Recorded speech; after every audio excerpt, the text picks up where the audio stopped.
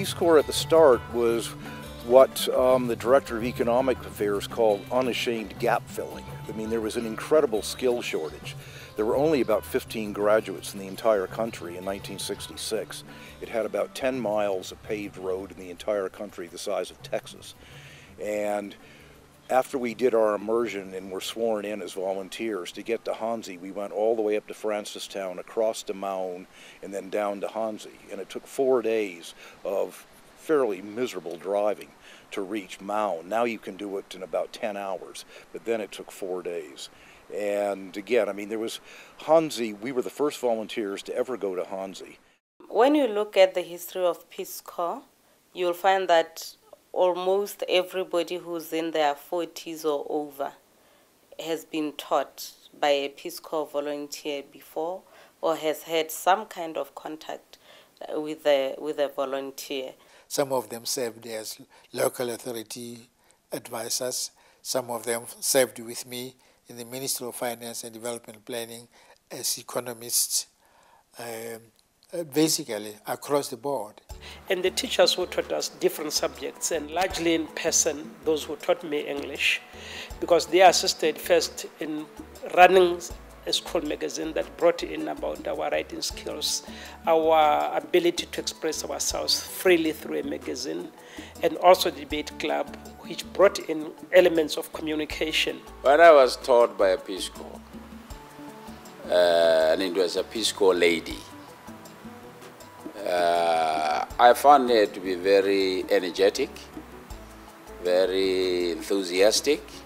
Uh, the only thing that I knew uh, people didn't like very much was the way they dressed.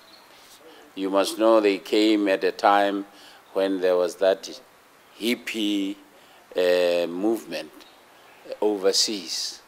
And some of them would uh, let their hair hang and then they would chop their, uh, their trousers as if uh, they were axing the trouser with with an axe But uh, when the Peace Corps came, they showed us the friendly side of a teacher.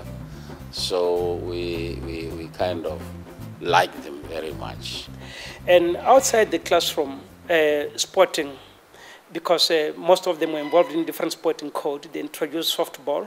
When the Peace Corps came here, they knew all about softball.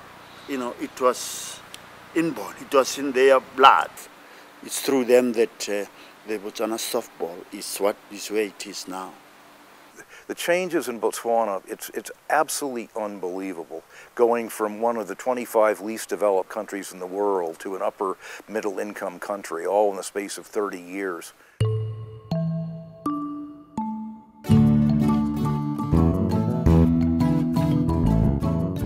You know, it's, it's amazing when you meet an old lady who doesn't know how to read and write, and they tell you, you know, I learned about HIV AIDS because there is that white girl in the clinic who draws pictures on the wall to tell us, you know, what HIV AIDS is and how can we prevent that.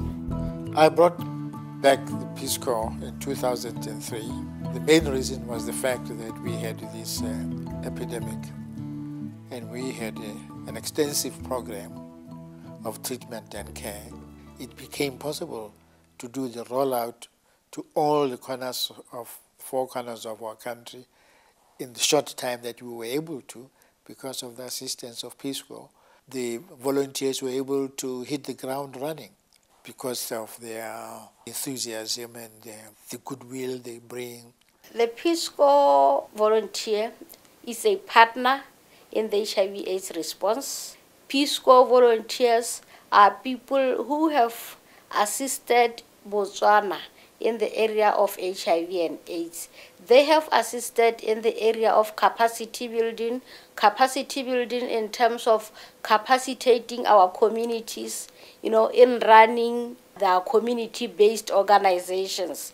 The greatest impact that the Peace Corps has had uh, in terms of personally for me and for the youth health organization has been that it has groomed an, a small organization into a reputable one that today is recognized for its strong systems, for its great partnership work that is at district level and also at national level. And whatever they do, they do with dedication, uh, with the seriousness that uh, uh, anybody who is given responsibility uh, would show. The Peace Corps is, is a large family that comes and dwell with the families at the ground level and then it spreads it, its wings, not making you do what they want, but just making you be yourself. Myself being a person who's living with HIV and AIDS, when they lived with me, I was really feeling very sick. And being a stranger to, to that young girl and being a stranger to that young man, they would have run away or felt uncomfortable. But you know, they stood as part of a family to believe with me that I can get better. They've really helped me to, to, to draw out that real me. You know, that in itself has shown true character of that they are willing to do whatever it takes to be part of the society that they come and live in. It's not easy to leave your own country and your own people for two years and come to serve in your foreign country and serve dedicatedly and with commitment. So happy anniversary, Peace Corps. I wish them a very, very happy anniversary. I wish Peace Corps has another 50 productive years and I hope that my grandchildren get to join Peace Corps just like I did and our children did. I wish Peace Corps from the bottom of my heart uh, a glorious 50th anniversary because they have done wonderful work in most of the world as evidenced by the wonderful work they did in Botswana. Peace Corps in Botswana, happy anniversary from the time you've come, you've always made the difference we expected and beyond.